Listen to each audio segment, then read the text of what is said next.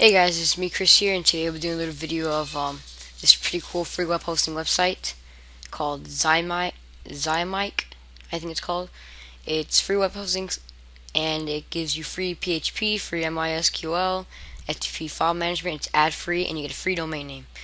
Now when it says free domain name that means you don't just get like a .com, that means you're just going to get a domain name but like dot webs, but it's not dot webs, like it's going to be something similar like that.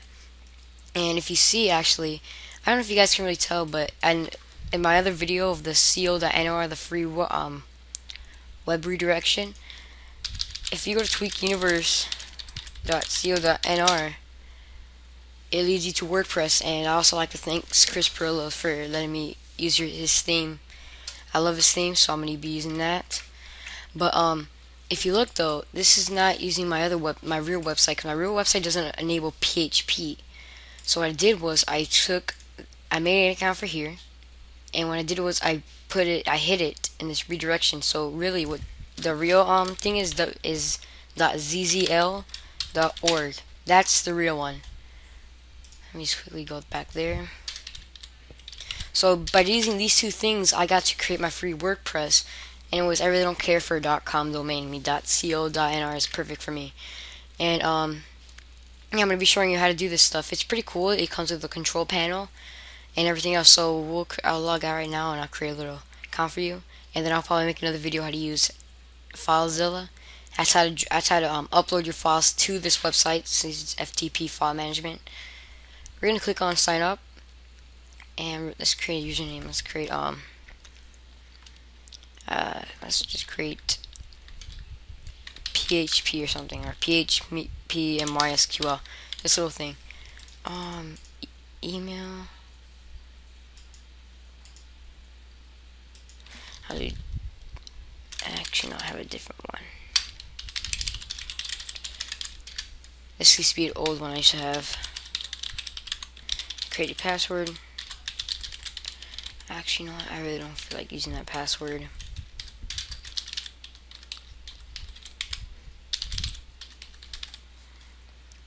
And we're going to put in the code. So it's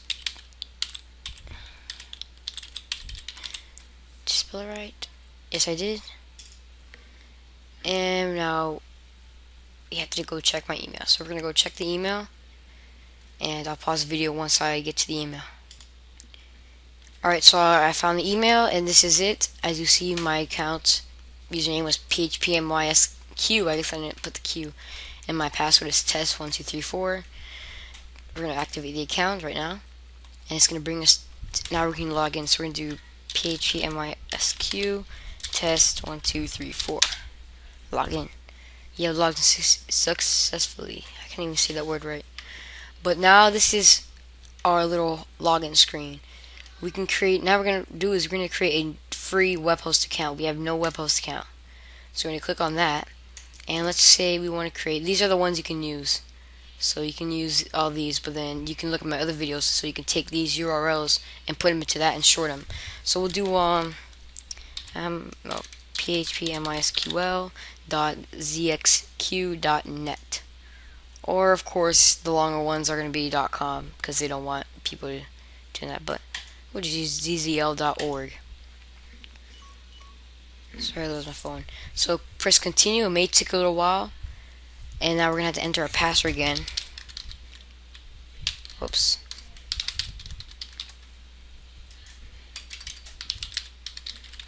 I think I entered it right. Yeah, now it's going to give you all this stuff about you, you can't make porn, porn um, websites, wars website, webcam websites, um, web proxies, keyloggers, all these things, and this is actually true. This goes to the FBI, so you really don't want to use this for anything. So you can read these again. You can't even use it for VB Bulletin. I didn't know that. I was probably going to use that. Of course, you can use it for pornography, rapid leech, BitTorrents, um, web proxies, keyloggers, note scripts, which is the same thing as a VB Bulletin note script. There's there's a difference between VB Bulletin and VB Bulletin all scripts. I might make a video over that and how to find one. And wars and all the, all these other stuff. So they have to agree to all this to all this stuff. This tells you that you will not break any of these rules. and then we have to create put in the the code again oh my phone's ringing now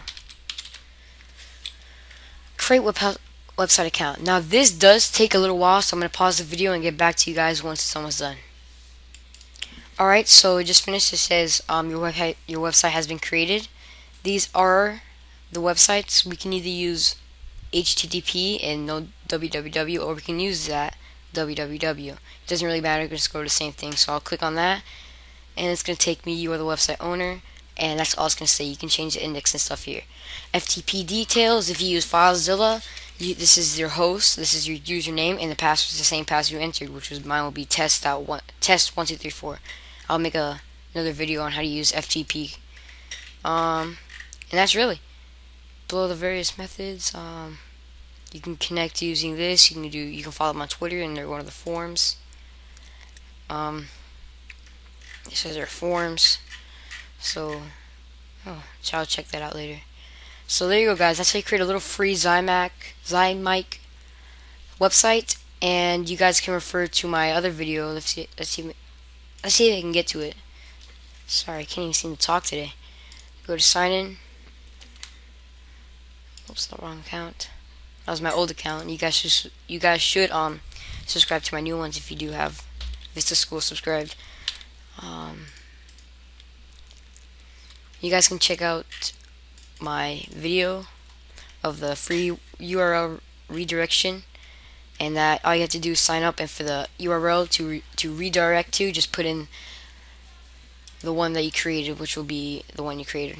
So here. So there you go guys. Please um, comment and tell me if you actually if I actually helped you and if I helped you create a website. I'll make another video how to use FTP so you guys can add files. This does in the control panel um, you can log into the control panel and you can create MySQL, MySQL databases and you guys can create a um, username for them and you can um what's the thing change the host for your FTP and stuff but you guys can do that. I'm not going to go over the control panel since it's pretty easy to use.